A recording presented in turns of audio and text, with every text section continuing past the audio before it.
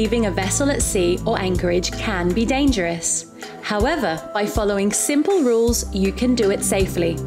This video will show you how you can have a safe boarding experience. Prepare yourself. In most cases, boarding is done from the PLO launch or supply boat to a larger vessel that is either anchored or moving slowly. Personnel involved in a transfer should be physically able to make the transfer and should understand the intended activity and the transfer method being proposed. Before boarding the PLO launch, check your current physical condition. Are you physically fit enough to climb straight up a high rope ladder? Are you scared of heights? Do you suffer from motion sickness? Are you currently taking prescription medication that can affect your balance, cause dizziness or lightheadedness, drowsiness, or that impairs alertness or judgment? Is your sense of balance good enough to step off a rocking boat onto a rope ladder that is hanging from a ship that might also be moving up and down? Are you properly dressed to climb a rope ladder with shoes that have non skid soles and low heels? Is your clothing loose enough to allow you to climb freely, but not so loose that it will catch on ladder rungs or handrails?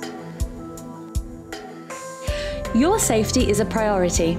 PLO launch crew have a right to refuse to carry passengers that they consider to be a potential risk to the safety of themselves or the launch crew.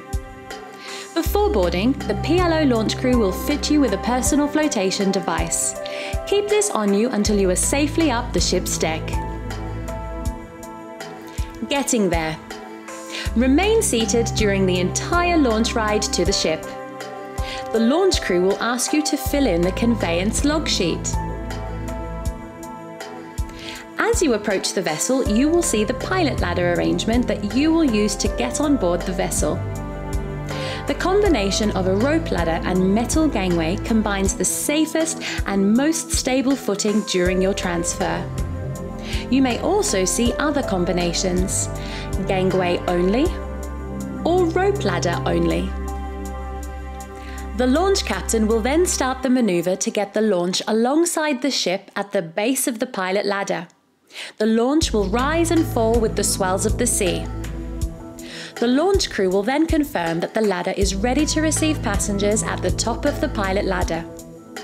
The launch captain and crew will only allow you to do the transfer from the launch to the rope ladder if conditions are safe. A PLO crew member will call the passengers one at a time. For safety reasons, you will be asked to walk across the outer side of the PLO launch.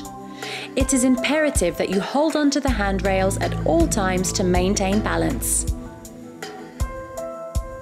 It is not too late to say no and decline to board the vessel. There is no shame in declining. Safety is a priority. At this time, make sure that you do not have anything clipped to your belt, like mobile phones, keys, or any other items. These could drop and fall into the water, or worse, injure someone on the launch below. Do not carry any luggage or wear backpacks when climbing the pilot ladder. The launch crew will lift such items separately onto the main deck of the ship.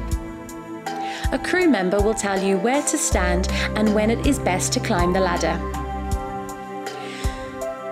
When waiting to transfer from the launch to the ladder, remain alert, keeping your eyes on the pilot ladder at all times. Do not look back to see what is going on behind you. It is important to note that after each transfer, the launch will pull slightly away from the ship. This is done to ensure that the person going up the ladder will not fall onto the launch if they lose their grip. Only one person at a time will climb up or down the ladder. The next person will climb the ladder once the ladder is free. If at any point you have doubts, please inform a crew member. When you get the go command, you should grab the ladder without hesitation. Step off the launch and immediately climb at least five steps to get yourself away from the launch. Remember, you are climbing a rope ladder and it will slightly pull away from the ship as you climb it. Do not be alarmed by this. Concentrate on climbing those first few steps and you will find your balance. When climbing, keep your body close to the ladder. This increases stability and prevents the ladder from twisting from side to side. With your body close to the ship and your eyes on the ladder, continue climbing until you reach the point where your feet are at the same level or slightly higher than the metal gangway. Your aim is to step down from the ladder onto the gangway. At this point, take hold of the gangway railing with one hand, then move one foot across. Next, shift your other hand to the gangway and then your other foot. The point is to move one hand or one foot at a time. Once on the gangway, firmly grasp the handrails and proceed slowly up to the deck. Take short rests anywhere necessary should you feel tired. At the top of the gangway, you will be greeted by the deck watch. Leaving the ship. When it is time to leave the ship, make sure you tell the ship officer any pertinent information about yourself and your luggage. This information will be conveyed to the launch captain and crew. The launch captain and crew will only allow you to descend the ladder and transfer to the launch if the sea conditions are safe. You can still decline to descend if you are unsure. Keep your hands firmly on the guide rails of the gangway as you walk down to the pilot ladder. Before you begin climbing down the pilot ladder, take note of the movement of the launch. Its rise and fall will determine when you will be told to transfer from the ladder to the launch. To reach the pilot ladder, take hold of it with one hand, then move one foot across. Next, shift your other hand to the ladder and then your other foot. As you descend, remain aware of your surroundings. Keep your eyes on the ladder and keep your body close to the side of the ship. You will not be able to see the launch at all times. Do not look away from the ladder and try to spot it. This could cause you to lose your balance. As you're near the bottom of the ladder, listen closely to what the launch crew member tells you and follow his instructions carefully.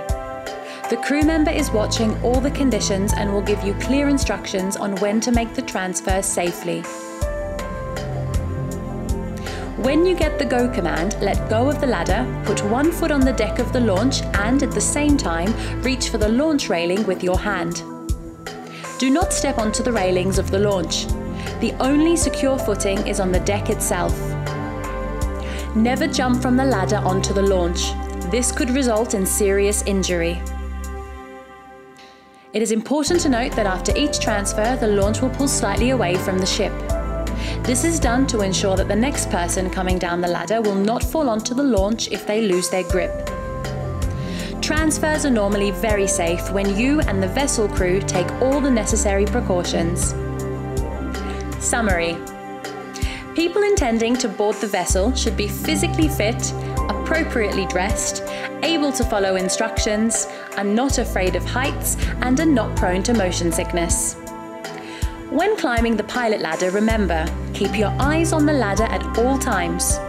Do not look back to find the launch. Keep your body close to the ladder.